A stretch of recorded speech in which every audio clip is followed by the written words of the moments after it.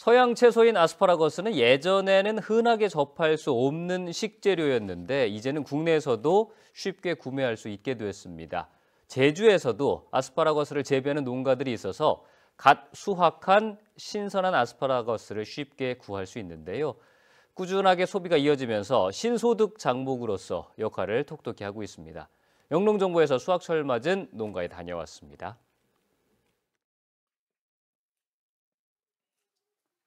제주에서 8년째 아스파라거스 농사를 짓고 있는 박경환 씨.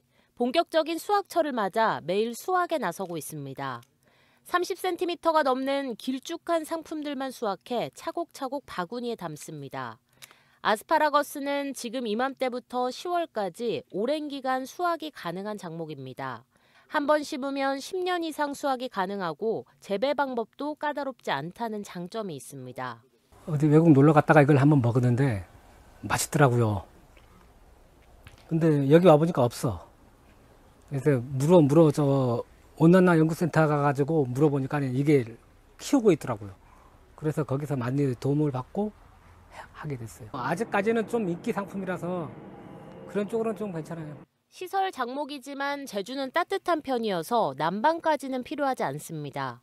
물류비가 추가적으로 들어도 다른 지역에 비해 가격 경쟁력이 높은 이유입니다.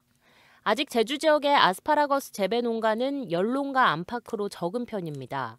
반면 수요는 꾸준히 있어서 새로운 소득 작목으로서의 역할을 하고 있습니다.